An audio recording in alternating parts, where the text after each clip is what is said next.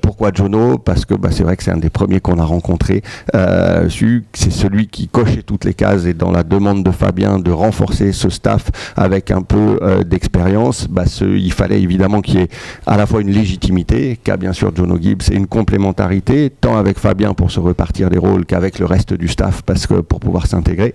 Et c'est vrai que bah, c'est Jono qui euh, nous a fait le meilleur effet, et c'est avec lui qu'on a eu envie de travailler. C'est un homme de rugby. Euh, on a bien matché tous les deux. On a envie de faire avancer le projet.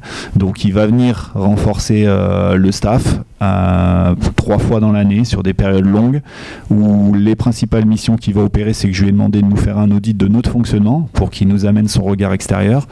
Il va participer à la construction, finalisation du, du, plan de jeu, de la stratégie de jeu, des systèmes offensifs et défensifs, et également accompagner Arnaud et Julien sur l'aspect de conquête parce qu'il a une grosse expérience et compétences là-dessus.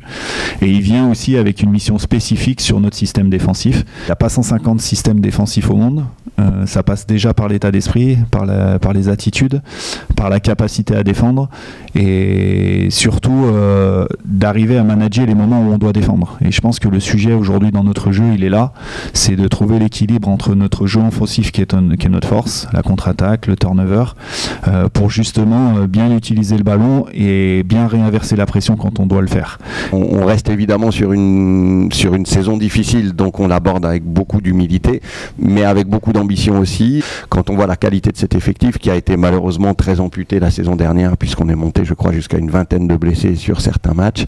Euh, je me souviens de Clermont, il nous manquait 12 avant, les 12 auraient pu être titulaires s'ils avaient été là.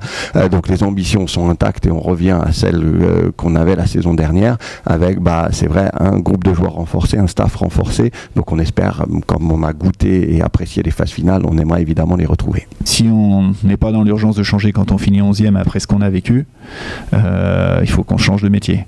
Donc euh, on s'est dit les choses, on a fait un bilan précis individuellement et collectivement. Et quand je vois l'énergie qu'il y a pu avoir ce matin et les comportements, je pense qu'on n'a plus envie de revivre ce qu'on a vécu. Je pense qu'il est un peu tôt pour parler du leadership. On a beaucoup travaillé parce que c'est un sujet qui ne se voit pas forcément. Euh, donc on a travaillé dans les dernières semaines sur comment on va faire évoluer notre leadership, comment on va travailler ensemble avec moi et avec le staff euh, pour qu'on puisse euh, euh, ben, avoir vraiment des relais sur le terrain et de co-construire ensemble. On espère bien sûr que le Matmut Stadium sera rempli le plus souvent possible. On a tous en tête effectivement la dernière journée de la saison dernière où bah, on bat le champion de France et le champion d'Europe dans un stade archi plein. Je crois que c'était même presque 33 000 personnes.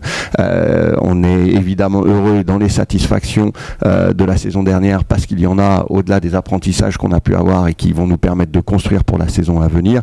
Euh, bah, effectivement, cette dernière journée euh, d'un lourd rugby qui gagne contre ce qui fait de mieux euh, dans un stade plein avec un Matmut Stadium qui vibre et qui partage des émotions, c'est évidemment ce qu'on veut avoir.